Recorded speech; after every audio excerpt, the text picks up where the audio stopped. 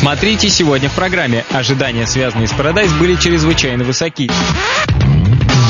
«Проклятые земли» — одна из первых действительно трехмерных ролевых игр. Безумно красивая, обаятельная, захватывающая и плюс ко всему сделанная российскими разработчиками. Стараниями дизайнера и сценариста компьютерных игр Ли Шелдона мы получили игру, позволяющую еще раз пережить драматические события замечательного романа «Десять негритят». Мало кто из игровых персонажей демонстрирует такую преданность своей работе, как известный всем агент номер 47.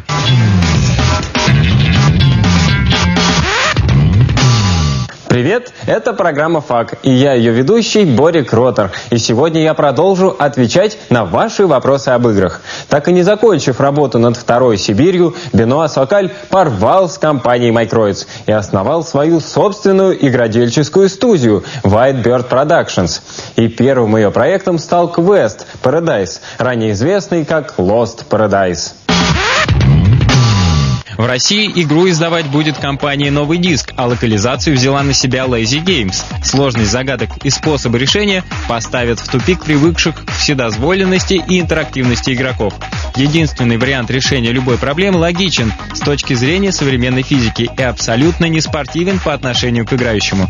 Разрешено брать только предметы, скупо разбросанные заботливой рукой дизайнера. Успешная настройка и использование механизмов заканчивается очередным скриптовым роликом и радостным оживлением победившего разума игрока.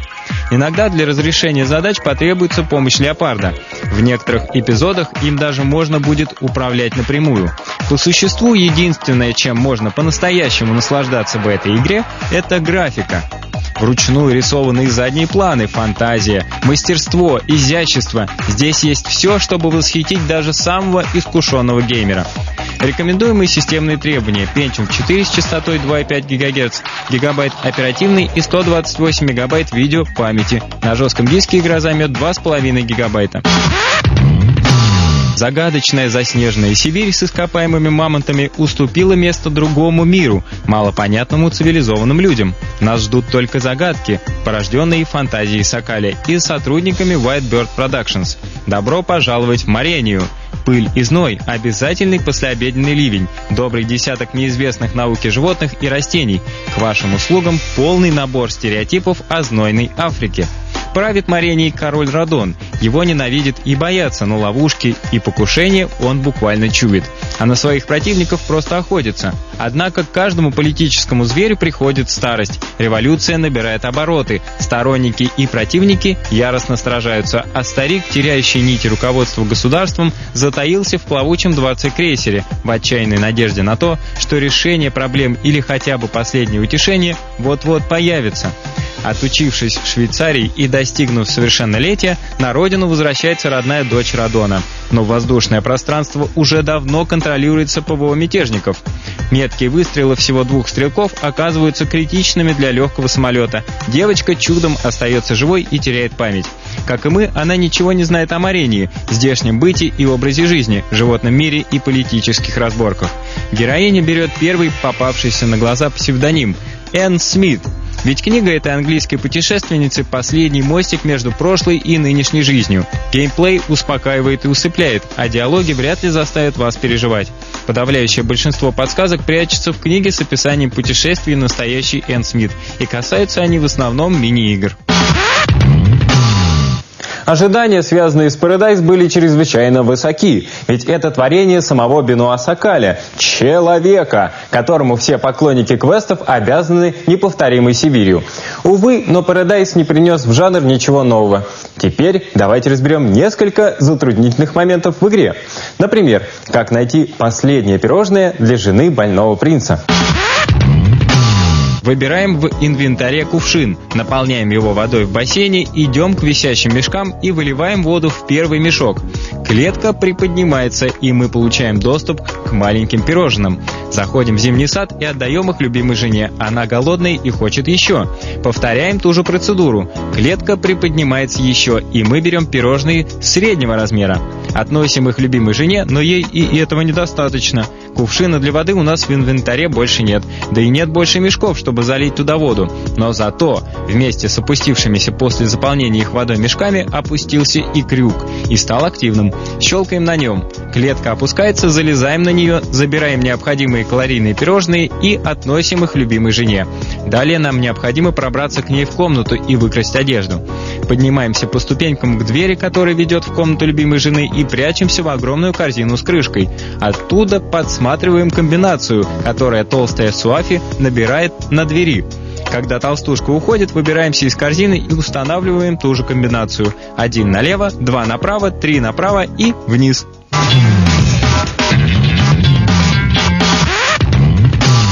«Проклятые земли» — одна из первых действительно трехмерных ролевых игр. Безумно красивая, обаятельная, захватывающая и плюс ко всему сделанная российскими разработчиками. Через пять лет случилось то, о чем так долго твердили фанаты. Продолжение истории «Проклятых земель», начатое как обычное дополнение, в результате выросло в самостоятельную игру, которая уже просто неприменимо понятие «аддон». Итак, вы молодой Джункир, сбежавший из рабства злющего волшебника Фириза. Живет этот мерзкий злыдень на лоде Джигран, и царит там вечная унылая осень. Главный герой, как и положено хорошему парню, чуть что мчится уничтожать вселенское зло и спасать из рабства свою семью. Только сначала придется немного подучиться размахивать железками и выделывать хитроумные магические пасы. Ибо Ферис – злодей серьезный, и дилетантский подход к его ликвидации добром не закончится. На сей раз наш герой путешествует в компании с чудесной спутницей по имени Кель. Чувствуете, чем пахнет дело? Правильно, романтическая линия, и не так просто, а как одна из сюжетных. Кстати, сюжет «Затерянных в Астрале» сделал первые шаги к нелинейности, пусть робкие и слегка неуклюжие, но в оригинальном-то их и вовсе не было. Иногда у вас будет выбор, как пройти очередное задание. Тут же оговоримся, что право выбора, реплик в диалогах вам все равно не дадут. Игра разработана компаниями Matilda Entertainment и Neval Interactive. Рекомендуемые системные требования к игре. Процессор 1 ГГц 256 МБ оперативной памяти, 128 МБ видео и 1 ГБ на жестком диске. На самом деле игра поменялась не сильно. Да, есть некоторая оригинальность в сюжете, когда все действие происходит не до, не после, а как бы по следам оригинальной игры и с другой стороны. Вы сражались с разбойниками в проклятых землях? Отлично, теперь вы будете с ними сотрудничать. Избранный выпустил демона на волю. Именно этот демон и поможет сбежать из рабства герою нашей игры. И все время вы видите рядом с собой следы предшественника. Что же тогда нового? Да почти ничего по меркам этой вселенной. Но еще один остров. Мы же помним, что дело все происходит в мире Алодов, островов осколков былой магии. Новые заклинания, монстры, доспехи, вооружения и так далее. В игре появились секретные миссии, при прохождении которых, а пройти надо обязательно все, можно заполучить секретную концовку. Но не обольщайтесь. В связи с багами игры выполнение всех секретных миссий может и не получиться, так что возможность повторного прохождения уже обеспечена. Тут сразу стоит отметить, что некоторые секретные миссии отличаются от обычных тем, что не обозначаются на карте, а второй раз спросить о них не получится. Кстати, не стоит радоваться и цифрам в 120 миссий на обложке диска. Сюжет не даст вам отклониться от основного пути, и придется строго следовать туда, куда прикажут. Никаких серьезных разветвлений не предвидится. Сейчас я буду вынужден проехаться асфальтоукладчиком по бодрым заверениям разработчиков о том, что игра выглядит красиво и современно. Скажу просто, я очень люблю Fallout, но даже под пытками я не смогу сказать, что он выглядит современно. То же самое и с проклятыми землями. Можно добавить пару полигонов там и сям, сделать косметическую подтяжку текстур здесь и тут, но движок пятилетней давности – это движок пятилетней давности. В самом начале игры не лезьте в бой, просто рубите крыс. Даже жабы вам пока не по плечу. Когда на первом уровне доберетесь до лагеря разбойников, окажется, что гарпия всех перегрызла. Вам нужно будет пробраться к сундуку, чтобы взять ключ. Пройти мимо гарпии незамеченным не получится, придется ползти. На первом острове Суслангер, когда будете определяться с классами ваших героев, лучше себе выбрать силу и стать воином, а для Келли либо ловкость тогда предложит дополнительные навыки стрельбы из лука, либо разум. И еще, если наделить Келли ловкостью, то она сможет ломать бочки. И это не только 8 монеток, но и 10 очков опыта. Далее, чтобы выбраться из крепости, лучше найти подземный ход. Для этого на севере найдите офицера и отберите у него карту. При выходе из замка обратите внимание на сундук с полезными вещами. Дальше вам придется ползти по мосту, чтобы вас не заметили, причем по центру и вместе. Совет. На этом острове лучше не ходить раздетым, здесь случаются песчаные бури. От них можно жестко пострадать. Пусть на героя будет хотя бы что-нибудь, лучше всего кожаная одежда. Чтобы вас, как сбежавшего раба, не нашли, нужно стащить списки рабов.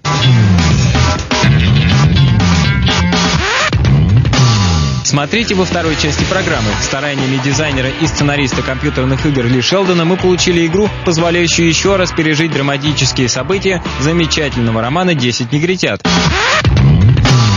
Мало кто из игровых персонажей демонстрирует такую преданность своей работе, как известный всем агент номер 47.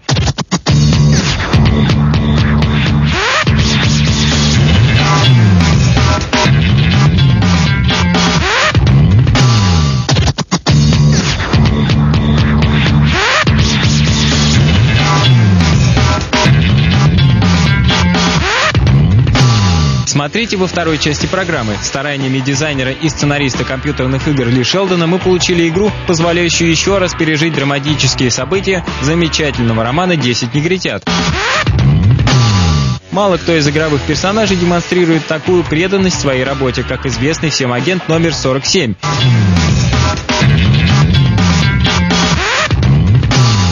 Английский детектив – особый жанр литературы. Роман «Десять негритят» появился в 1939 году. Хоть в этом романе и не действуют знаменитые детективы, это одно из самых популярных произведений Агаты Кристи. Стараниями дизайнера и сценариста компьютерных игр Ли Шелдона, а также компании AWE Games, мы получили игру, позволяющую еще раз пережить драматические события этой замечательной книги. Ли Шелдон – голливудский сценарист, который хорошо известен и в компьютерных играх, и в телевидении, и среди писателей. Ранее уже создавал адвенчурные игры Riddle of Master Lu и Dark Side of the Moon. Да и вообще детективный жанр – его конек. Поэтому при создании игры Агата Кристи and then there were none разработчики сразу обратились к нему. Задача была непростая. Сложный сюжет нужно было превратить в компьютерный квест, сохранив оригинальную последовательность событий и добавив свои задачи задумки. В игре все продумано, и сценарий, и головоломки. Сразу бросается в глаза, что появилось новое действующее лицо. Патрик Наракот, главный герой, задержавшийся на острове кораблекрушения неожиданно для всех. От оригинальной сюжетной линии Ли Шелдон не отходит до самой развязки игры, но все равно в игре постоянно происходят неожиданные события, обнаруживается куча секретов и масса других мелочей, а в качестве окончания припасено целых четыре варианта.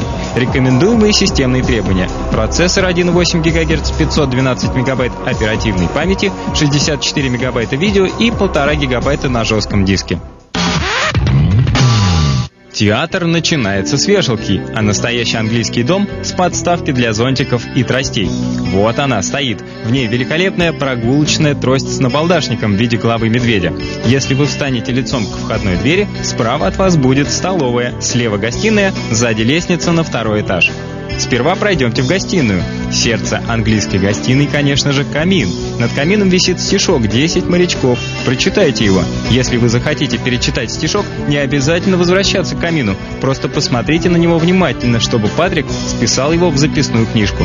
Прочитать эти заметки можно, нажав на значок с книжкой в правом верхнем углу экрана. В игре войти в комнаты, кроме комнаты Блора, сразу не удастся. Вначале гости будут переодеваться к обеду. Со всеми надо поговорить. Этот же принцип верен и для последующих этапов сюжета. Если вы забыли уделить кому-то внимание, обед не подадут, или ночь не настанет и так далее.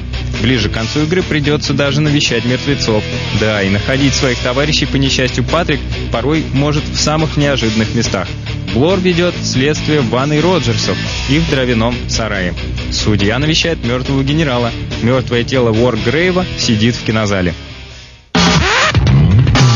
В общем, ничего особенного и революционного в игре не происходит. Идеи талантливого сценариста по превращению романа Агаты Кристи в квест, к сожалению, так и остались идеями. Игра получилась какой-то неживой. Единственное, что ощущается на протяжении всей игры, это желание главного героя выбраться с этого проклятого острова.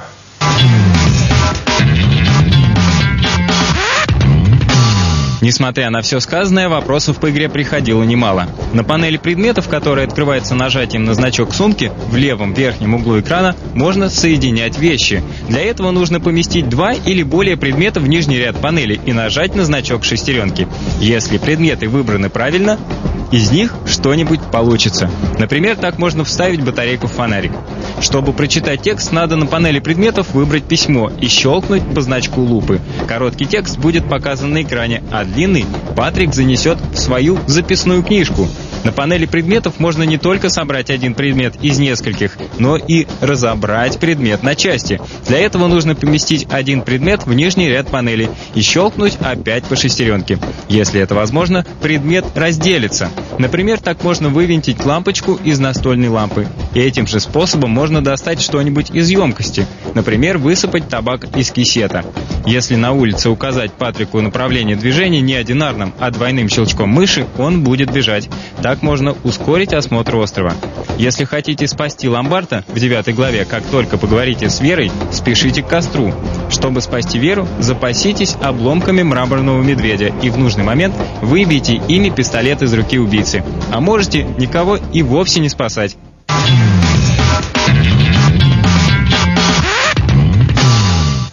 Когда вы являетесь одним из лучших киллеров, всенародная любовь и признание, мягко говоря, не то, что вам нужно. Конечно, если вы придете в оперу, достанете дробовик и застрелите вашу цель на глазах у тещи, жены и голосящего на сцене тенора, деньги все равно будут начислены. Но на следующий день ваша заляпанная кровью физиономия будет взирать на обывателей с первых полос всех газет.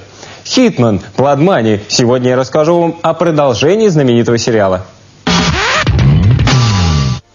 Сюжет игры, разработанной компанией IO Interactive, является логическим продолжением предыдущих частей серии. Агентство ICA, главный поставщик заказов для нашего героя, неожиданно столкнулось с конкуренцией, причем далеко не самой честной. Похоже, что некоторая организация целенаправленно пытается вытолкнуть ICA из бизнеса. Каким образом? Разумеется, самым логичным для этой, так сказать, сферы услуг, в которой компании работают – физическим устранением. Хитман, понимая, что может оказаться следующим по счету в списке без вести пропавших, решает уехать в Америку, где открывает свое собственное маленькое дело. С учетом его послужного списка догадаться о направленности бизнеса не составит никакого труда. Blood создавался на базе последней версии движка собственной разработки – Glossair. Это настоящий рай для владельцев топовых видеокарт. Абсолютно новый рендер, шейдеры третьей версии, самозатенение, мягкие динамические тени. В общем, готовьтесь как к грейду. Игра появилась в официальной продаже 30 мая 2006 года, и в ближайшее время появится локализованная версия для России от компании «Новый диск». Рекомендуемые системные требования. Процессор 2,4 ГГц, 1 ГБ оперативной памяти, 128 МБ видео и 5 ГБ на жестком диске. Об одном из главных нововведений нам сообщает сам заголовок игры. Это Blood Money, то бишь деньги, кровавые. Здесь следует отметить, что в самом первом Хитмане нашему герою уже платили за его работу.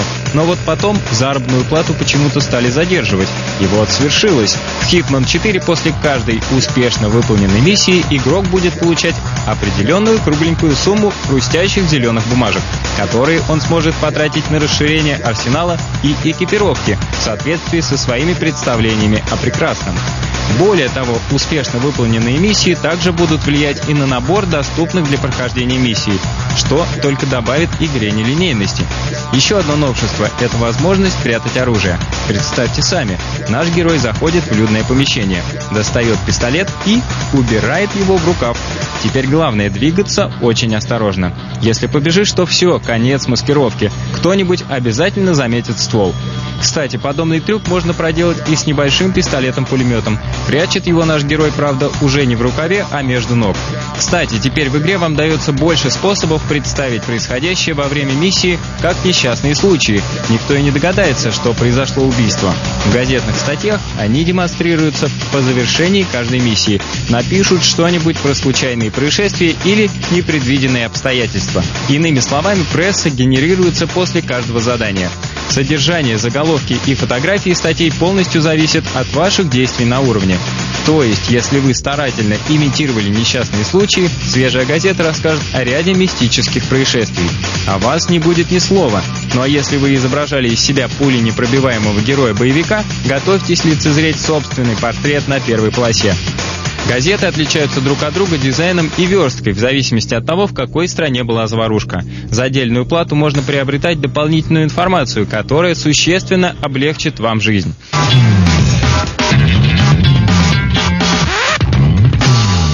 Обстоятельно отреставрированный агент 47 возвращается с обновленным движком. Как я уже говорил, до 4000 NPC в кадре. Новые трюки из арсенала Сэма Фишера и внушительные геймплейные инъекции.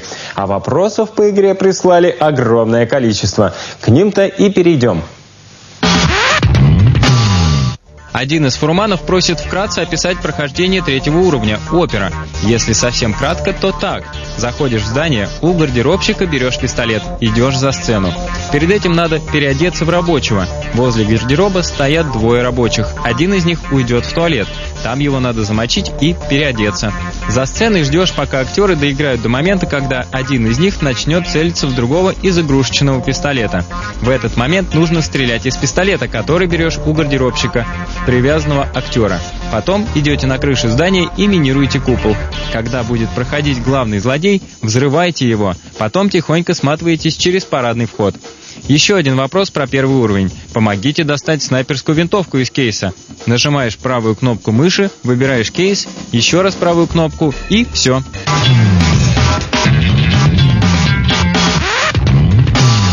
На сегодня это все. Пишите мне ваши вопросы и пожелания на email faq собакамуздефиств.ру и я обязательно отвечу. Играйте и выигрывайте. С вами был Борик. Пока.